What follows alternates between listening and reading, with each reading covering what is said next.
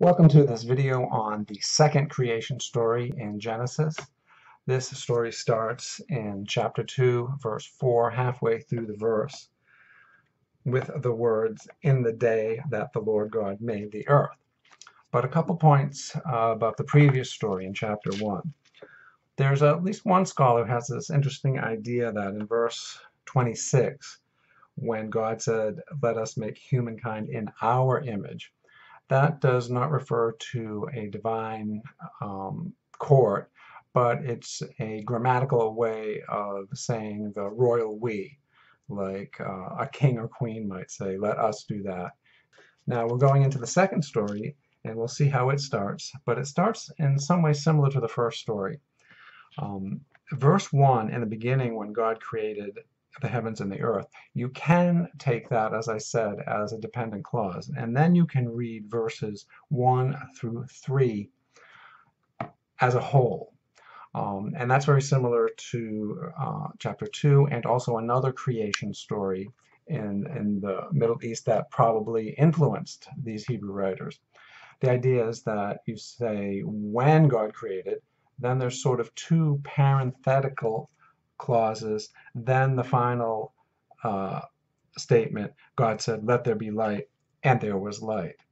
Uh, so you can see that pattern. In the first story, it says, In the beginning, when God created the heavens and the earth, the earth was a formless void, tohu vabohu, and darkness covered the face of the deep, while a wind from God swept over the face of the water. So the situation here is not that there's absolutely nothing, but that there are these primordial waters and God's Spirit is over them. And what God really says to start things is, let there be light, and there is light.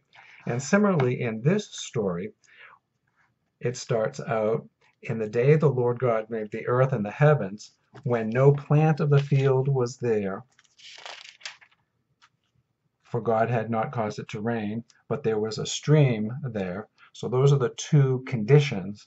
Then the Lord God formed man from the dust of the ground and breathed into his nostrils the breath of life. So it's the same situation. Dependent clause, uh, a couple uh, parenthetical situational descriptions, and then the action. And in this story, God creates man first. God creates the first human being and then the animals are created. So this really is a different uh, creation story. It's more of a Yahwist uh, story because the name for God is Yahweh, and it comes from probably a different tradition, a different document. And these two creation stories were put together by an editor. This second creation story uses a different name for God, Yahweh. Previously, we had the word Elohim, the, the name of God. Here we have Yahweh, but in English it's translated Lord, and sometimes and in this story, uh, Elohim and Yahweh are together, so it's translated Lord God. But I think Lord is a terrible translation. Uh, the text says Yahweh uh, without the vowels, but it says Yahweh. It does not say Lord. Lord is a concept of a political totalitarian monarch, a ruler. Yahweh is a proper name. So we should look at this as Yahweh. And the story starts with the creation of um, Adam from the ground. And the word ground is Adamah. So Adam is created from Adamah. So there's a play on words. But it's more than just a play on words because it's a statement of the mortality of human beings. They come from earth. So Adam is as literally something like earthling. And he is from the earth, but he also has the breath of God in him. So the breath um, and obviously, this is not a scientific theory. This is a theory about the value of a human life. And each human being has that breath of the divine. The breath is the inmost um, expression uh, of life. Uh, so it's an intimate connection between Yahweh and humanity. And the second creation story continues. And Yahweh Elohim planted a garden in Eden in the east. Eden is a very old word, scholars tell us. It goes way back to the Sumerian. So this gives us evidence that the biblical writers had access to these very ancient creation stories and were adapting them. God plants various plants for Adam to eat and also the tree of the knowledge of good and evil. This idea of the knowledge of good and evil really means experience. To experience something is to have knowledge of it. And it means also romantic or passionate knowledge of someone. So a man would know his wife, for example. So the idea here is that God does not want Adam to eat of this particular tree. And this this uh, tree of the knowledge of good and evil, this appears to be a very unique idea. Uh, it's only in the Hebrew Bible. So the writers here are, are being creative and not just using previous sources.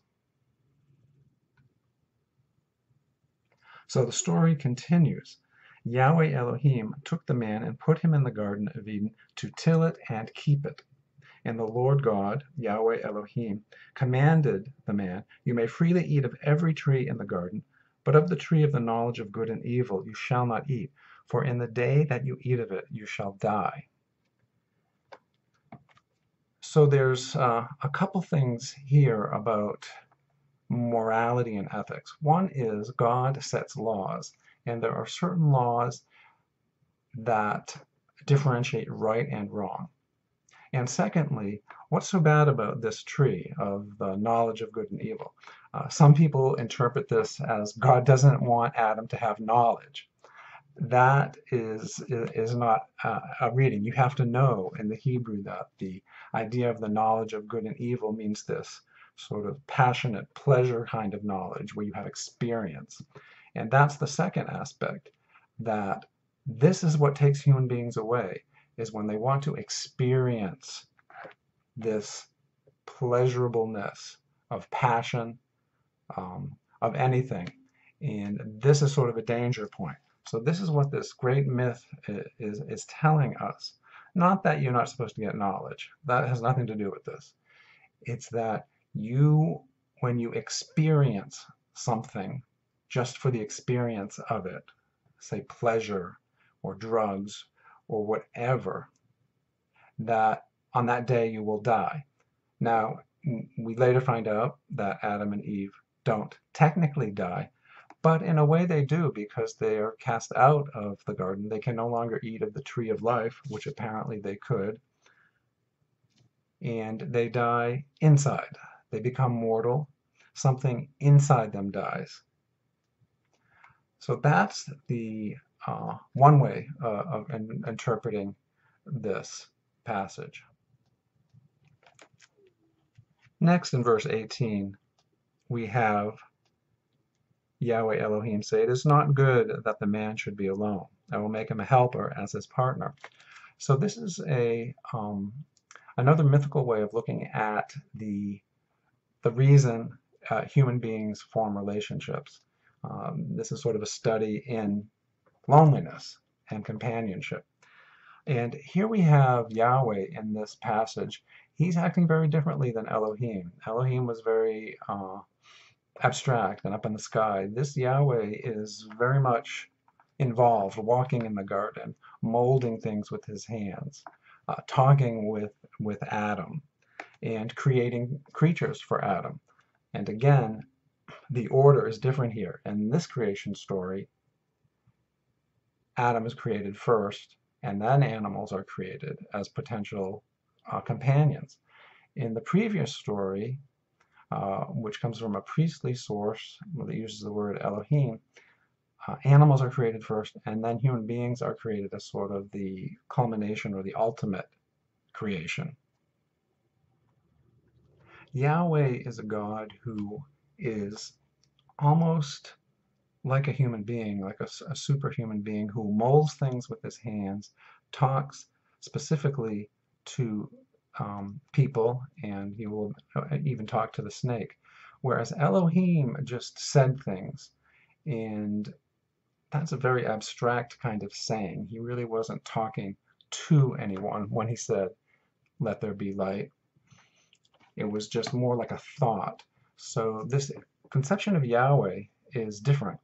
And we tend to read this as mythological, as poetic, um, as not very literal, but uh, at least one well-known biblical scholar said perhaps we should look at this a, a, little bit more literally, that this was the conception of Yahweh, at least here in chapter 2, of a more physical God, a God like a great human being, uh, more of a, a God who actually literally walks and talks and forms things.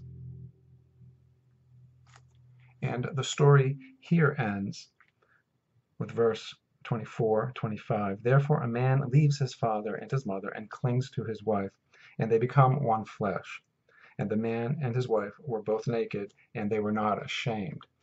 So this is a state of uh, alleged primordial innocence, uh, where there's there's no shame associated with nakedness, and of course that will be different as we go into chapter three.